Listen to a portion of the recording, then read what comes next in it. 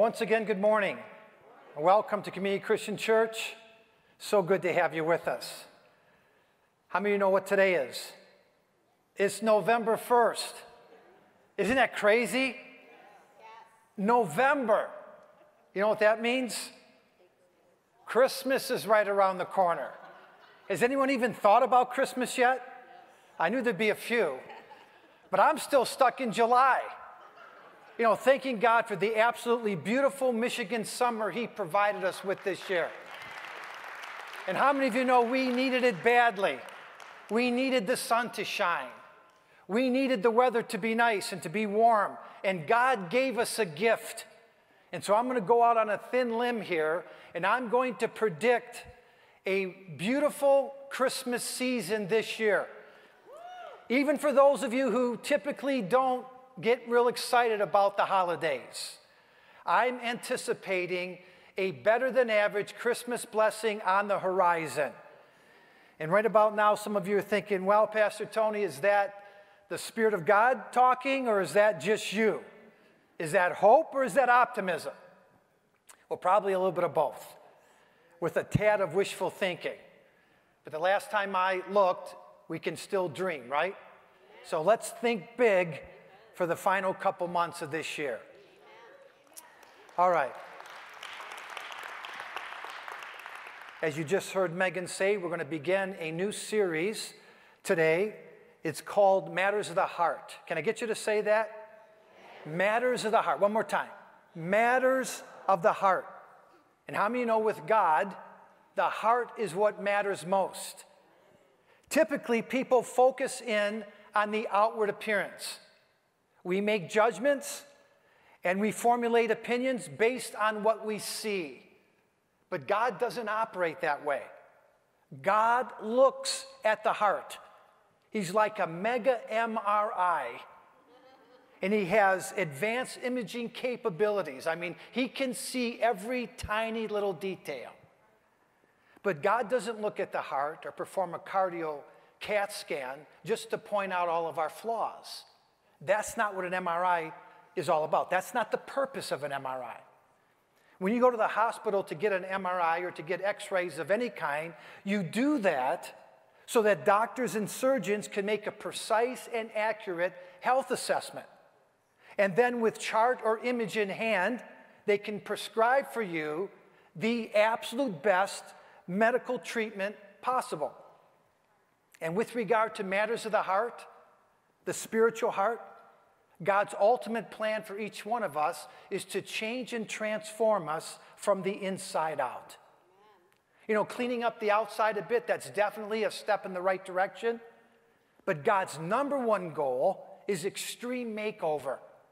And I'm talking about a total heart renovation. You see, in Ezekiel chapter 36 and verse 26, God said this He said, Here's what I'm going to do for you. I'm going to remove from you your heart of stone, and I'm going to give you a heart of flesh. God said, This is what I'm going to do in your life.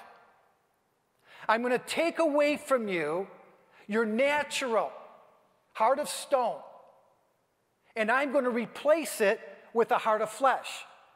The new the living translation says a tender and responsive heart. And friends, I'm sorry to say that when we become Christians, this doesn't happen automatically. It does not happen overnight. I wish it did. I wish on day one of our conversion, we would no longer have to deal with a stubborn or a self centered heart. But that's not the case. Heart transformation takes time, requires precision and expertise. And thankfully, Jesus, our great physician, also just happens to be the most skilled heart surgeon on the planet and beyond. And he knows what he's doing. And so, our combined goal and objective for the next couple of weeks is to go after the heart, is to see God create in each one of us a soft, and sensitive and caring and responsive spiritual heart. And Jesus basically said, in the last days, And how many of you know that's the time frame that we're living in right now? I'm convinced of it because a couple of months ago in September, we did a series called End of Days. And during that series, we determined that we are living in the time frame called the last days or the end of days. And Jesus said, in the last days, if we're not careful, if we're not proactive, if we don't make the matters of the heart a top priority, then the love of many would grow cold. And that means the exact opposite would happen. That people who have already established some kind of softness in their heart because of what's happening in our day, they would allow those circumstances to harden the heart. And a, a soft, pliable, responsive heart will be, in turn become callous and cold and insensitive. And we all have to guard against that. And so today, in lesson number one of this series entitled Matters of the Heart, I want to talk about having a servant's heart. Can I get you to say that? A servant's heart. And whenever we talk about this particular subject, there's a passage of scripture that I absolutely love. It's found in the book of Philippians, chapter 2, verses 5 through 8. In your relationships with one another, uh, does it say in your relationships with God alone? In your relationships with one another, have the same mindset as Christ Jesus, who, being in very nature God, did not consider equality with God something to be used to his own advantage. Rather, he made himself nothing. Is that what it says? He made himself nothing by taking the very nature of a servant, being made in human likeness, and being found in appearance as a man, he humbled himself by becoming obedient to death, even death on a cross. And of course, we can't quote Philippians 2 5 through 8 without adding or including verses 9, 10, and 11. Therefore, God has highly exalted him and given him a name above every name, that at the name of Jesus, every knee shall bow. Every name.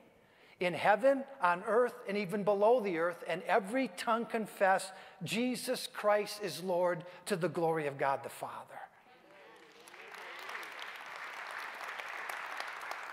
You see, with humility comes great exaltation. And God said it. He said it in His Word He who humbles themselves shall be exalted. So, the key to this entire passage that we just looked at it's found in verse 5, Philippians chapter 2 and verse 5, where Paul says to us or instructs us that we are to have the same mindset that Jesus had. And tell me again, what was Jesus' mindset? A servant's heart. In fact, in Mark chapter 10 and verse 45, Jesus said to his disciples, The Son of Man did not come to be served, but what? To serve and to give his life as a ransom for many. And this is what we were singing about this morning, and I, I, trust that you felt the cloud of God's glory and presence fall on us as we exalted the King of Kings and Lord of Lords. You see, Jesus laid down his life for us. He paid the price for our redemption. He said there could be no more meaningful or powerful sacrifice than that. His exact words greater love has no man. There's no possible love that can be any greater than a man or a woman laying down their life for their friends. And Jesus, by laying down his life on the cross, he revealed to us the greatest story ever told. It's a powerful, very meaningful sacrifice. Now, personally, I love success stories. When somebody hits it big, or when they experience an unexpected windfall of some kind, I'm all about cheering them on and offering congratulations. The truth is, I can get really emotional and move to tears when I hear someone giving credit to someone else who's helped them, like a parent or a grandparent, a friend or a mentor. To say something like, I wouldn't be where I am today without the sacrifice or the support that my parents or my grandparents have given to me. See, those kinds of testimonies, they inspire me. And you hear that kind of, uh, of testimony coming from accomplished athletes all the time, where they give credit to someone for their success. Or people have climbed the corporate ladder and they've been promoted all the way to the top. Oftentimes during celebrations or when they're giving speeches, they will say, I owe this one to my spouse, to my wife, or to my husband, because all during the time that I was in training and when I was working countless hours or when I was going to school, they held down the responsibilities at home. They took care of the kids. And I'm so appreciative and grateful for the sacrifice they made for me. See, those kinds of stories, they move me. And just a couple of months ago, following the death of world renowned apologist Ravi Zacharias, I was watching his memorial service live streamed from Atlanta, Georgia. And his daughter was talking, she was giving the eulogy. And she said a short time before her dad died, before Ravi, Ravi passed away, because he was so sick and it, it, was just really a difficult time for them, a challenging time. He was isolated away from the family for several weeks. He was all by himself. And right before Ravi died, her eight year old son came to her. And he said, Mom, I need you to tell me what's going on with Papa. I need to know. I haven't seen him in a couple of weeks. I haven't had a chance to talk to him. We haven't been interacting. Nobody's telling me. I have to know what's going on with Papa. And his mother, doing the absolute best job that she possibly could, uh, broke the news to her son that his grandfather was not going to make it, that he was very sick, and she said she was sorry she didn't have all of the answers. She couldn't explain to him uh, why, but he was going to be with Jesus soon. And when this little eight year old boy realized that he would no longer be able to interact with his grandfather, that his grandfather was going to die and go to be with Jesus, he said, Mom, you don't understand. Without Papa, I can't be me. Without Papa, I can't be me. In other words, his grandfather meant the world to him. You see, that's what it means to have a servant's heart. To care so much about the well being of somebody else that they become the top priority in your life and you choose to put others first. And that's precisely what Paul said in the couple of verses preceding the ones we just read. Philippians chapter 2, verses 3 and 4. Here's what he said Do nothing, how much? Do nothing out of selfish ambition or vain conceit, but in humility value others above yourselves not looking to your own interest, but each of you to the interest of others or to the interest of the others. Why would he say that? Why would Paul lay out such radical instruction and doctrine that we are in humility to value others above ourselves? Why would Paul say that? Well, two reasons. Number one, it's the way Jesus lived. It's how Jesus lived his life. It was the mindset of Jesus. And correct me if I'm wrong, but isn't Christianity supposed to be us following and emulating his example? Isn't that what we're supposed to do? Aren't we supposed to imitate Christ in our actions and in our behavior and our thoughts? So, number one, that's how Jesus lived. And number two, this is the formula for lasting happiness. Let me say that again. This is the formula, Philippians 2 3, for lasting happiness. Servanthood, or learning to possess a humble, selfless attitude toward others, is the key to happiness. Some of you looking at me right now like you don't believe me. Well, listen to the hot off the press statistics uh, coming from the NORC, the National Research Center at the University of Chicago, which just so happens to be the largest and most reputable research organization anywhere in the world. According to the NORC, just four months ago, in June of this year, they surveyed a bunch of people, tens of thousands of people, and the results of that survey revealed that 86% of the people surveyed said they had very little joy in their lives. 86%. When asked to pick between happy or unhappy to describe the way they feel, 86% said unhappy. Do you know how much 86% is? That's almost nine out of 10 people. Look around you. Nine out of 10 people said they were unhappy. Uh, that means that a good majority of Americans are definitely not happy campers. And I'm sure all of the adversity that we've faced so far this year and everything that we've been through has contributed to these negative numbers. It's influenced it, no doubt. But as you well know, in this life, we're always going to face negative circumstances. All of the time. It's always going to be adversity and challenging days.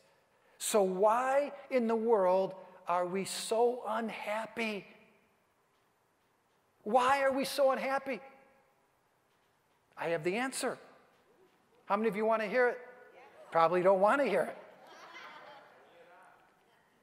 Here's the answer to the reason why we are so unhappy today. It's found right here in this life changing, life altering verse in Philippians 2 3.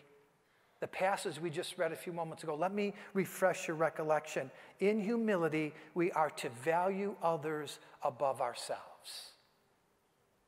Friend, that's not just one little tiny verse. That changes everything. Amen. And it's all linked to following and emulating the example that Jesus gave to us.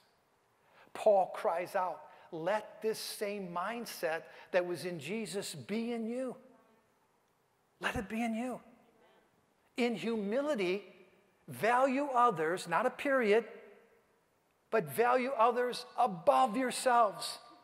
And friends, if we were honest this morning, we would have to say, we're not doing that. That is not the way we live. In fact, in America, we are programmed for self. And we are, for the most part, engaged in self centered activity. And please don't anyone misunderstand or misquote me. I'm not saying that we don't care about people, that we don't love one another, or that we don't reach out to people when they're in need. Come on, we do that. In fact, this church has proven to be the most generous congregation on the planet. And I greatly commend you for that. I mean that with all of my heart. But generosity is only a portion of what it means to possess a servant's heart. Do you know we can be generous because God has blessed us with so much? And we can share some of those blessings with the people around us and still live self centered lives? Still be fixated and focused in on our own thoughts, our own desires, our own needs? We can still do that. Again, according to the research, here's a short list of daily life activities in modern America. These are the things that most Americans get involved with most. Working on quality relationships, becoming more educated and better informed, striving for performance and promotion, experiencing adventure and thrills, whipping ourselves in good physical shape at the gym, improving our diets, managing our money, upgrading our living space. The list goes on and on. And while all of what I just mentioned is extremely essential and important, and in balance, it's all biblical, it's all scriptural, and I would highly recommend it. Check this out. Not one thing on this list, nothing that I just mentioned will bring you lasting happiness. Not one. And that's not my opinion, That's what the NORC in Chicago concluded after interviewing tens of thousands of people. They reported that the majority of the people surveyed said they have worked their whole lives to accomplish what I just described, and they have not been able to find happiness. You see, true happiness doesn't come from human achievement. Checking all the boxes on a lengthy bucket list is not going to get you there. Philippians 2 3 and many other verses in the Bible tells us, it says very clearly, lasting happiness can only come from having a servant's heart. And not just your willingness to serve God or to love God, but in humility, valuing and serving other people above yourself. Friends, I would encourage you jot that verse down, put it in your phone, put it somewhere where you can get a hold of it each and every day and memorize it because it is a life changing passage of Scripture for every single one of us. Now, as we begin to prepare for our communion service, and it's still just a few minutes away. Uh, the, the word that I used there was to begin. Uh, as we begin to prepare uh, for the communion portion of our service, I want to read a passage of scripture found in the Gospel of John, John chapter 13. And none of the other gospel writers, Matthew, Mark, or Luke, record this particular passage in their gospels. It is exclusive to the Gospel of John. John chapter 13, verses 1 through 5. It was just before the Passover feast. Jesus knew that the time had come for him to leave this world and go to the Father. Having loved his own who were in the world, he now showed them the full extent of his love. The evening meal was being served, and the devil had already prompted Judas Iscariot, son of Simon, to betray Jesus. Jesus knew that the Father had put all things under his power and he had come from God and was returning to God. So he got up from the meal, took off his outer clothes, wrapped a towel around his waist. After that, he poured water into a basin and he began to wash his disciples' feet, drying them with the towel that was wrapped around him. All right, let's stop right there. A week or so ago, as I was preparing for this particular message, the Spirit of the Lord led me to the passage that I just read, John chapter 13. And after I reviewed it and read it just like we read it a few seconds ago, I became fixated on the last part of verse 1. John chapter 13 and verse 1. Having loved his own who were in the world, he now showed them the full extent of his love. And uh, the, the, the passage or the, the sentence that seemed to captivate my attention was, He now showed them the full extent of his love. So I sat there in a rare moment in front of my laptop, thinking about that one sentence, reading it over and over again, meditating on it, praying about it and this is no exaggeration, I sat there for 30 minutes without typing a single word on my laptop. Because I kept asking the same question Lord, what does this mean? What does this mean? You know, sometimes we can just race through the scripture and something might get a hold of us and, and, and we don't give it the time to, to meditate on it and to, and to think about it, but for some reason, I couldn't get past that one verse. I thought about, you know, Jesus expressing his love to his disciples for three and a half years with a great amount of love, teaching them, spending time with them, mentoring them, feeding them physically and spiritually, literally taking them by the hand and showing them the heart of God, something they had never seen before. They would have never been able to know without Jesus giving them that information. What did it mean? He now showed them the full extent of his love. And I know that the cross was the single greatest act of love that anyone could possibly demonstrate. And Jesus, about to go to the cross, was a part of that. But the verse says, now. he now showed them. It doesn't say he was about to show them. It doesn't say they would soon learn all about his uncon- unconditional love. Verse 13, 1b uses the word now. So, whatever Jesus had in mind, it was about to take place in that moment. And at that very moment, at that time, Jesus noticed that his disciples were sitting at the table. The evening meal or the main course was being served, and they still all had dirty feet. He noticed that. None of the other guys noticed. They were clueless. But Jesus saw they're about to have the main meal and everybody's got dirty feet. So he got up from the table. He took off his robe. That's what the Bible says. Took off his outer garment. And when he did, he revealed the undergarment that he was wearing. The same piece of clothing that the Roman Praetorian guards refused to cut up and divide at the crucifixion site. Do you remember that? They were so impressed with this one garment that instead of doing what they typically would do, which is to tear it up and divide it among themselves, they didn't do that. They didn't want to destroy it, so they gambled for it. Remember? They cast lots for it. They wanted to see who the lucky one was who was going to take home Jesus' underwear. You see, that particular garment was a very rare piece of clothing. Someone had taken the time to weave it as one piece from the top to the bottom without any seams. It was amazing. Held that garment in their hand. Couldn't believe how, how, did somebody do this? You see, it was the same holy piece of clothing that the high priests would wear when they were ministering before the Lord. That's the garment that they would have on when they were ministering in the holy place. But I'll tell you this no high priest, no Jewish high priest, would have ever even thought about taking on the assignment of washing dirty feet. I mean, the high priest was highly esteemed among all the people.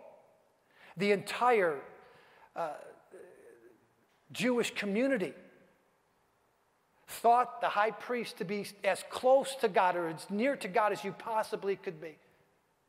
And no menial task of washing feet would have ever been assigned to a high priest. But Jesus, our great high priest, that's how the book of Hebrews uh, describes him a priest after the order of Melchizedek, a heavenly high priest.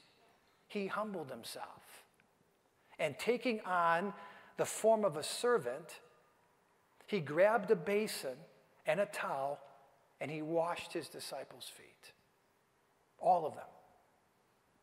All 12 disciples. And when he was finished, he went back to where he was seated. And the scripture says as soon as Jesus returned to continue with the Passover meal, John chapter 13, verse 21. As soon as he returned from washing his disciples' feet, Jesus was troubled in spirit and testified, One of you is going to betray me. Do we have that verse, guys? John chapter 13 and verse 21. Do you see it? We don't have it? Getting no response. One more time, John chapter 13, verse 21. Jesus was troubled in spirit and testified, One of you is going to betray me. Any idea why Jesus was so troubled? I know you're thinking about something. You want to say it out loud. He had just washed Judas's feet. And all during the time that he was washing his feet, he was thinking about what Judas was prepared to do to sell him out. And not just betray him, but the scripture says he betrayed Jesus with a kiss. How many of you know that wasn't easy for Jesus to digest? Judas was one of the 12 disciples. He was a, a chosen disciple, a brother, a close friend. They did ministry together. These 12 guys plus Jesus, they did life together. They shared meals, they shared secrets. And now Judas is getting ready to stab Jesus in the back. And all during the time that Jesus was washing his feet, he's thinking about it. Gets back to the table, and he's not just a little upset, he's troubled in spirit. Check it out human betrayal happens all the time. And I would venture to say that we have all felt it. We've all felt it sting. Every single one of us has probably experienced a close, loving person, a, friend, maybe even a family member, say something, do something that has offended us. And it hurts. Betrayal hurts like crazy. And please believe me when I tell you, I know what it feels like. I know how betrayal can hurt. But here's what I've learned as much as I wish it were not so, I have hurt and offended other people as well. People who have put their trust in me. People who have gained my confidence. People who have held expectations. And when I didn't meet those expectations, when I offended other people, they felt the sting of betrayal. They would testify to you today that I betrayed them. There are people walking around this earth, people that are alive today, that I have offended.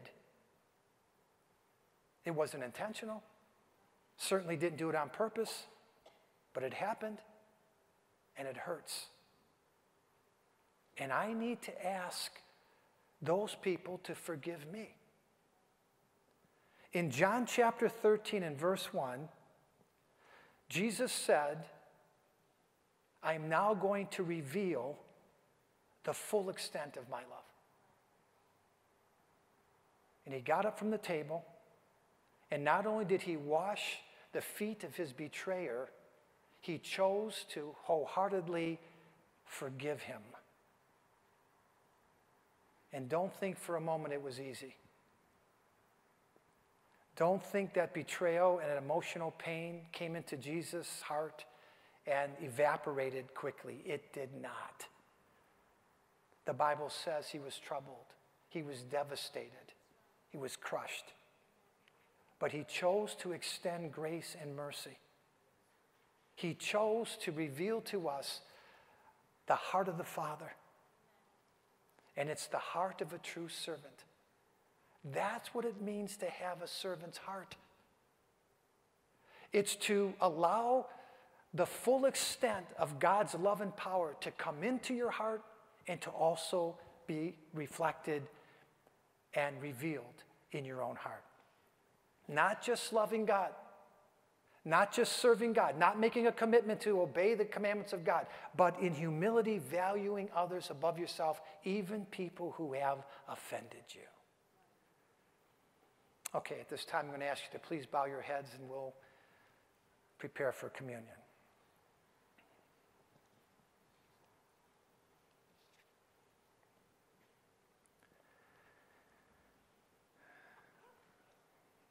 Father, we thank you for your presence that's in this place right now. We thank you, Lord, that you are here among us.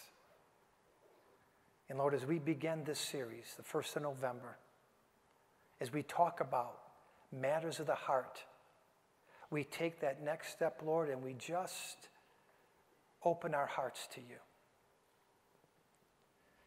Not just so you could take a little peek at what's inside. Father, we are making bare before you all of our emotions, all of our feelings, everything that we possess because we need you, Lord. More than ever before, we need you to come in and work your ministry in our hearts, taking away the stony places, removing the hardness and the calloused areas, and bringing softness and tenderness and responsiveness. Lord, we pray in these moments as we gather around the communion table that you would do something so uncommon and unique among us. Lord, that you would, in fact, extend to us the same way that you did with your disciples a long time ago, the full extent of your love. Lord, we need it. We desire it. And you are in position to grant it to us. So we pray, Holy Spirit, have your way during this communion service. Amen.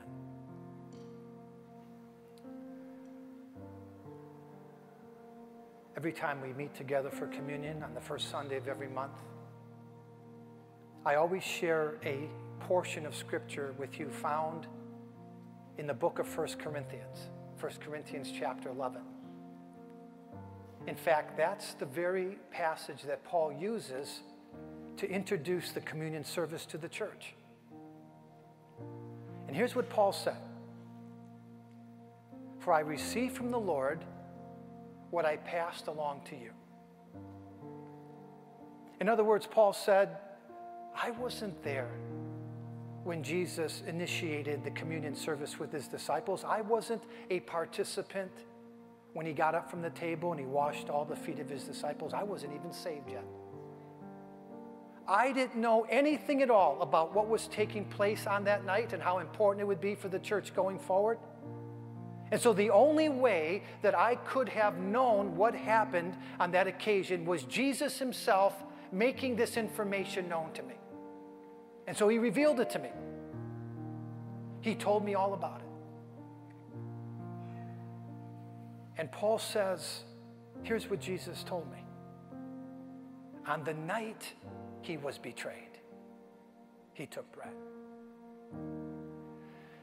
Not the night before his arrest and subsequent crucifixion on the cross. Not the night that he gathered together with his disciples and shared the Passover meal, his last one, by the way. Not the night that he got up from the table and washed everybody's feet.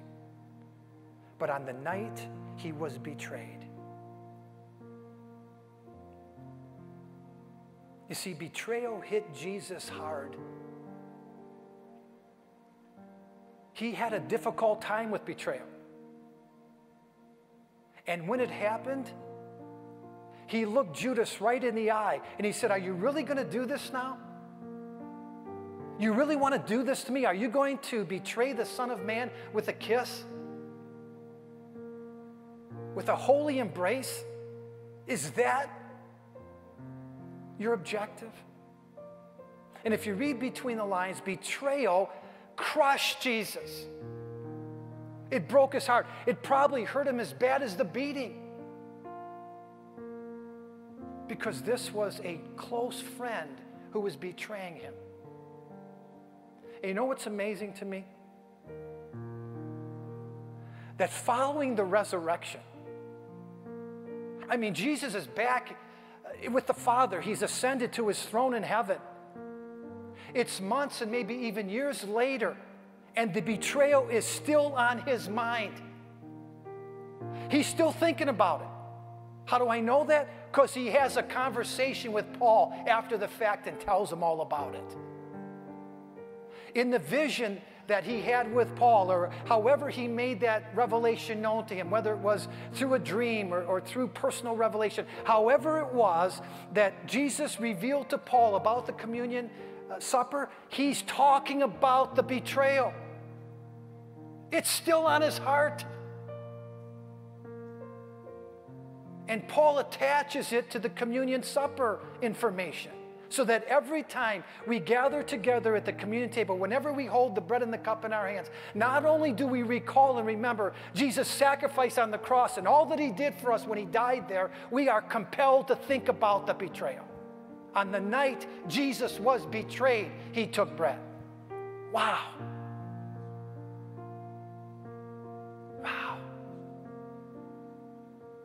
Jesus bringing up the betrayal to Paul, Jesus having conversation with him, telling him how it went down, leads me to believe that when we are betrayed, when we experience that hurt in our lives, it can remain there long after we offer forgiveness. Think about that. That was worth you getting to church today or tuning in. Long after you have forgiven the person who has let you down and betrayed you, it's still there. Even when you let go of it, it's still there. And when you find yourself thinking about it and you find yourself depressed and it gets you down and you got to talk to somebody about it and you have conversation, it doesn't mean that you haven't extended forgiveness to people. It doesn't mean that you're walking in unforgiveness or you've violated God's commands. It simply means we need the full extent of God's love, every one of us. Not just his unconditional love, not just his covenant keeping love that he gives to us, having loved those who are in the world, he now ex- expressed to them, he extended to them the full extent of his love. That's what we need. It can only come through a servant's heart. Jesus was the only one who could reveal it. He's the only one who could show it to us And we have this gift, we have this power. And not only can we receive it, we can reflect it. We can give it to the world around us. We can bring healing to the people who are hurting. Can I get you to bow your heads, please? Again, the scripture says it was on the night Jesus was betrayed that he took bread. And after giving thanks, he broke the bread, gave it to his disciples, and said, This is my body, which is broken for you. Do this in remembrance of me. Jesus' body was broken so that we could be healed from our brokenness. I'm going to say that again. Jesus' body was whipped, it was broken so that we could be healed from our brokenness. And that's all that we're going to get in this world, friends.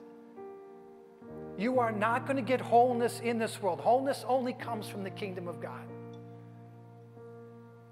Could you lay down your pain and your hurts?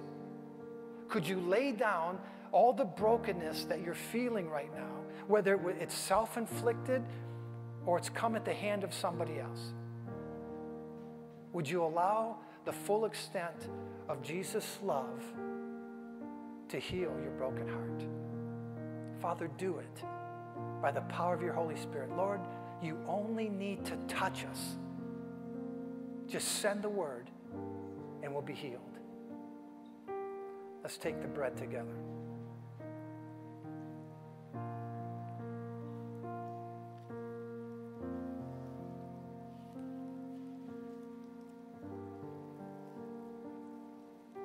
After supper had ended, Jesus took the cup. Again, he gave thanks. He passed the cup to his disciples. He said, This cup is a new covenant in my blood. Do this in remembrance of me. For as often, every time you eat this bread and drink this cup, you declare the Lord's death till he comes. Jesus went to the cross. He died there. He said, It is finished. There remains no more sacrifice for sin. He shed his blood for our redemption. With his blood, he bought us back to God. And He gave us the gift of forgiveness. Say that forgiveness. Forgiveness. The scripture says if you confess your faults, if you confess your sins, He's faithful and just to forgive you and to cleanse you from all unrighteousness. Forgiveness is the gift that God gives to us because of our tendency to break His laws and His commands in sin. We don't have to walk around in shame. We don't have to hang our heads and think that God doesn't love us or care about us. He's offered to us forgiveness. Do you need His forgiveness this morning? Do you need the forgiveness of someone else that you've offended? It's available. Father, we thank you. We thank you, Lord, that we can forgive and we can receive forgiveness. Lord, we confess our sins. There are many. We confess our faults, and we confess the times that we disobey and we don't live our lives according to your commands. That doesn't mess you up. That doesn't cause you to be put off with us because you gave us a gift to deal with our rebellion and sin. It's the forgiveness that comes from the cross of Jesus Christ. I pray, Lord God, it would be real in the life of every person here today. Thank you for redemption and forgiveness. Let's take the cup together.